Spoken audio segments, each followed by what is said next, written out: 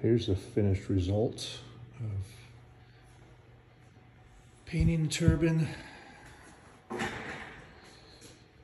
not like an expert, but it came out good for me. I like it. So this was the Inferno orange for um, a Toyota, like 2018 is one of their colors, and then tuxedo black, which is from a Ford F-250 or 2012. It has some sparkles in it, but you probably you can't really see it. But um,